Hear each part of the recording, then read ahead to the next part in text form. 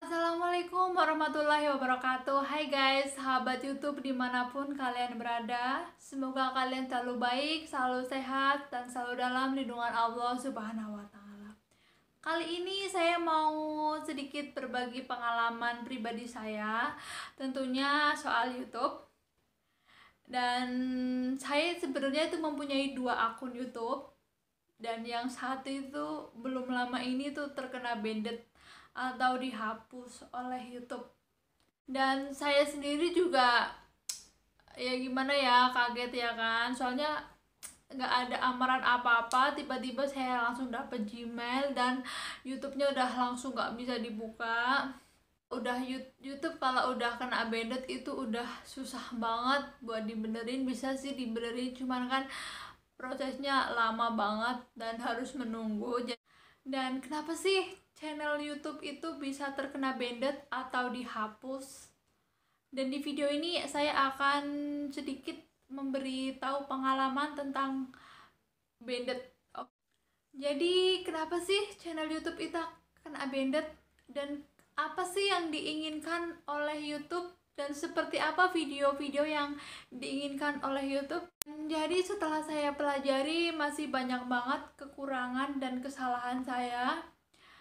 Dan mohon kepada youtuber pemula saya hanya ingin berbagi pengalaman saya tentang bandit dan apa saja sih larangan-larangan agar channel youtube kita tidak terkena bandit dan yang pertama yang pertama itu thumbnail atau gambar atau cover gambar yang muncul di halaman pertama youtube kita.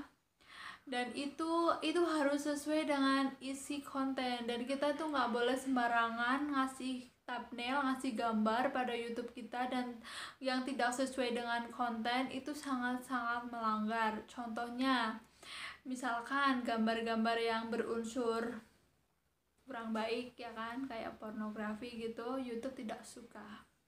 Dan yang kedua yang kedua itu deskripsi. Istilah deskripsi sesuai dengan isi konten uh, YouTube kalian. Dan jangan asal-asalan dan jangan sembarangan itu juga penting banget dan itu juga bisa menyebabkan YouTube kita itu terkena bandit dan yang ketiga ketiga adalah menge-share di sosial media itu boleh atau tidak sih Iya boleh, cuman jangan berlebihan. Misalkan dalam satu hari kita meng-share satu, dua, atau tiga kali itu nggak bermasalah. Tapi kalau misalkan kita meng-share link itu berlebihan, misalkan 50 kali dalam sehari itu hmm, termasuk dalam pelanggaran oleh YouTube. Dan yang keempat adalah akun channel YouTube yang belum diklarifikasi. Ya karena dianggap YouTube kita itu abal-abal atau unsur penipuan. Yang kelima, dan yang kelima itu adalah komentar yang mengandung spam atau mengundang spam. Contohnya, kita memasukkan link YouTube kita pada komentar YouTube itu sangat-sangat tidak boleh ya guys. Dan komentar dan terlalu banyak spam di YouTube kita ya. Kalian paham lah ya tentang spam dan yang keenam yang keenam. Dan yang keenam ini adalah ya ini sangat berbahaya banget ya guys. Adalah video uploader. Video uploader atau video yang mengandung pornografi.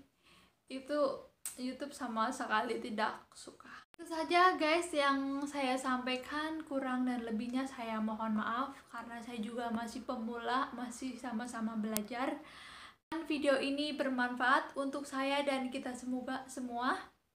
Semoga kita menjadi kreator yang sukses dan patuhilah peraturan YouTube kalau kita ingin menjadi seorang YouTuber. See you in the next video. Enjoy your life. Salam sukses. Salam Nyonya. Bye bye.